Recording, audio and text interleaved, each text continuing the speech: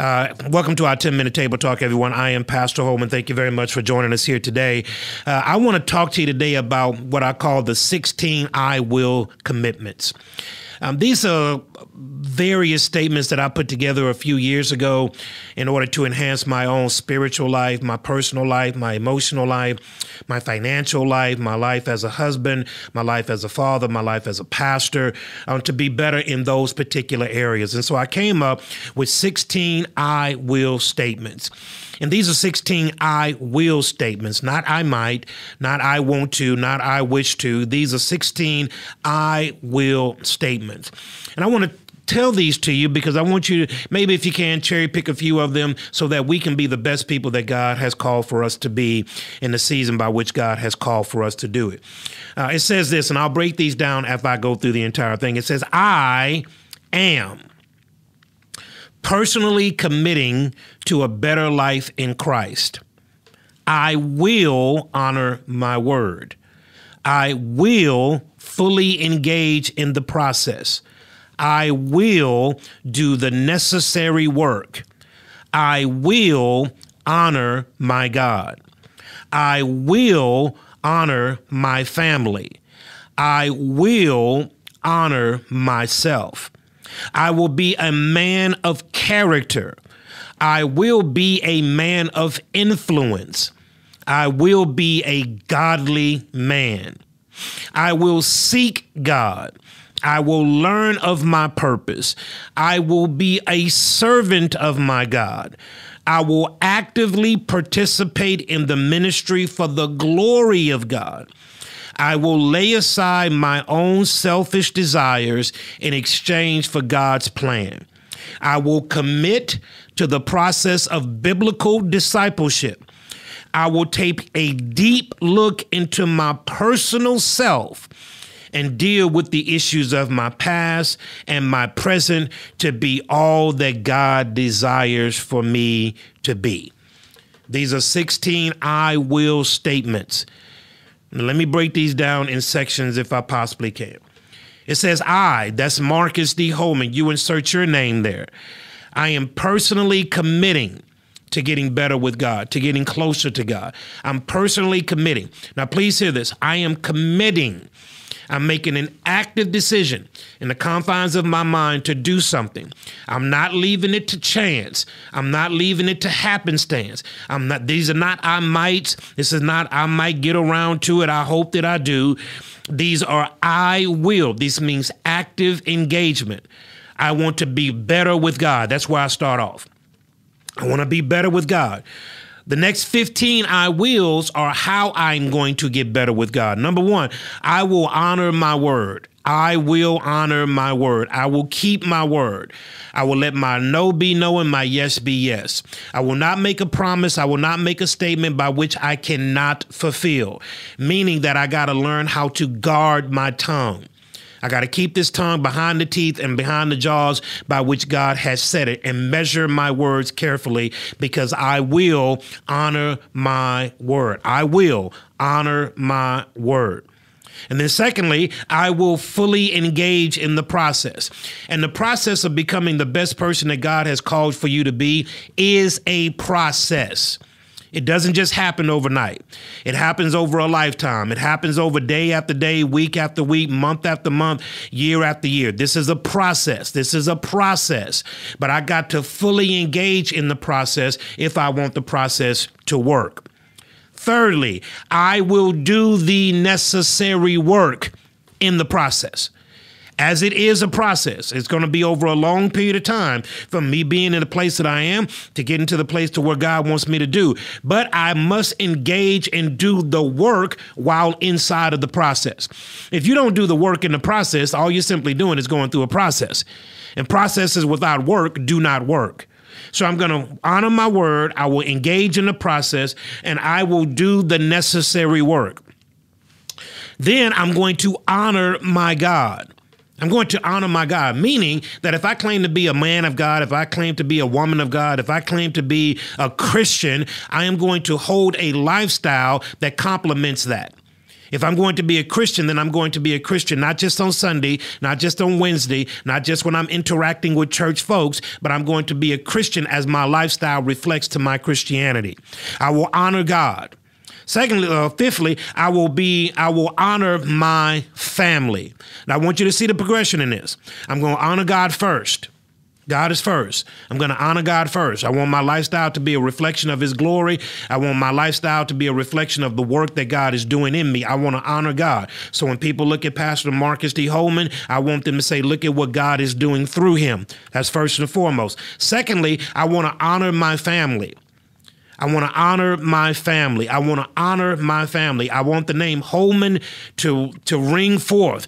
I want it to be a great name. I want it to be a legacy name. I want it to mean an, to be a name that actually matters. I'm going to honor my family, and then thirdly, I'll honor myself. So watch the progression. I'm going to honor God. I'm going to honor my family, and then I'm going to honor myself. Do you see how that works? See, I'm going to honor God first, honor my family second, and then I come last. But me coming last is not me coming last because if I honor God first and honor God secondly, then my name is, uh, is, is honored amongst the midst. I will be a man of character. Now, let, let me give you two minutes here, a minute and 15 seconds. A man of character is the person that nobody else sees. That's not the public person. That's not the person sitting behind the podium. That's not the person on your job. No, the character person is the one that nobody sees except you. I will be a man of character, meaning that my character, that word character there, Greek word, is, is, to cause an impression. It's dropping something on wet cement and leaving the impression. Okay, that's my character. It means to etch out. That's my character. And my character is often developed in the private places of my life. So I want to be a man of character. I want to be a man of influence. When I walk in the room, I want the room to notice. I want to carry weight when I walk into a room. Why? How is it going to carry weight? One, because I've honored my word. I'm engaging in the process. I'm doing the necessary work. I'm honoring God. I'm honoring my family. I'm honoring myself. I'm a man of character. And if I'm all of those things, then guess what else I'm going to be by default? A man of influence. I will be a godly man. I don't want to be a good man. I want to be a godly man. I want to be a man that is known because of his relationship with God and that he has walked this earth trying to get people connected to the one that ultimately created them. I want to be known as a godly man, not a good man. I will learn of my purpose. I don't want years upon years and decades upon decades passing me by, and I have no idea of what God has called for me to do. I want to learn of my purpose. I want to be a servant of God. I want to serve God in whatever capacity that God has assigned for me, and then serve in that capacity to the best of my ability. I want to try to outserve my contemporaries when it comes to the kingdom of God. I want to serve God. I want to actively participate in the ministry for the glory of God. One of the things about participating in ministry is many people think that you got to be qualified to do this, that, or the other. God doesn't call the qualified, but He qualifies the call. Your heart has to be into whatever God has called for you to do. If your heart is not in it, all you're simply doing is checking boxes. I want to actively participate in the ministry for the glory of God. I want to see people get closer and closer with God. I want to see relationships healed. I want to see marriages strengthened. I want to see parental between parents and kids strengthened in that. That's actively participating in the ministry for the glory of God. I want to lay aside my own selfish desires, y'all and we all got them. And trust me, I got a lot of them. I, I got to be able to check my prejudices. I got to be able to check my selfish desires when I want to be at the forefront at the expense of everybody else. I got to check my selfish desires and exchange them for God's plan. But how do I do that? One, I got to know that I got selfish desires. You have selfish desires. You got to recognize those and then exchange them for God's plan. I want to commit to the process of biblical discipleship biblical discipleship. That means opening up the Bible, not just on Sunday, not just on Wednesday, not just my five minute daily bread, not just my 15 commute uh, to work. I want to commit to the process of biblical discipleship. I want to be discipled by the Bible. And everybody wants to be discipled by people. You're best to be discipled by the Bible. Let the Bible disciple you. And then lastly, and this is the most important one, by which this is the hinge that the door opens on. I got to take a deep look into my personal self and deal with the issues of my past and my present to be all that God wants me to be.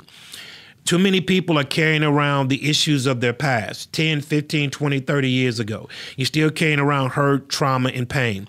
And then you're offsetting that hurt, trauma, and pain on people who have nothing to do with your hurt, trauma, and pain. People are now the recipients of your anger because of what somebody did to you 10 years ago. And you can't grow, you can't make significant strides in life because you're still holding on to what somebody did to you when you was 5, when you was 10, when you was 20, when you was 25. You got to be able to take a deep look into your own personal self and deal with the issues of your past. And everybody's got a past. Everybody's got a past. Everybody's got a past. Here's what you got to do. You got to go over to that door, that closet door that you got a padlock on. You got the couch in front of it. You done shoved your refrigerator in front of that door because behind that door is all the things that hurt you. You got to remove all that stuff that you blocked that door out with, and you got to go into that deep, dark closet, and you got to start dealing with the issues of your past. You got to start dealing with that trauma because if you don't deal with it, God can't use you to the capacity that He wants to. You got to be able to look at it. You got to be able to examine it. You got to be able to have real conversations with yourself so that you can move past that pain, hurt, and trauma so that you can be the best person that God has called for you to be. So here it is. I'm personally committing to be a better person in Christ. I will honor my word. I will on, I will engage in this process. I will do the necessary work. I will honor my God. I will honor my family. I will honor myself. I will be a man of character. I'll be a man of influence. I will be a godly man. I will seek God. I will learn of my purpose. I will be a servant of my God. I will actively participate in the ministry for the glory of God. I will lay aside my own selfish desires in exchange for God's plan. I will commit to the process of biblical discipleship. I will take a deep, long look into my personal self and deal with the issues of my past, my present, so that I can be all that God has called for me to be. 16 I will statements that govern my life, and I try my best to honor those every day. Don't hit a thousand every day. Sometimes I'm hitting 20, right? But I'm always trying to keep these things relevant and right there in front of my face so that I'm not living by happenstance and living life by default. Um, actively move forward in your life so that you can be the man, the woman, the boy, the girl that God has called for you to be. Everybody, thank you for joining us here on our set of Studio B. Remember, like, follow, share, comment, subscribe. Be informed, be empowered. Studio B.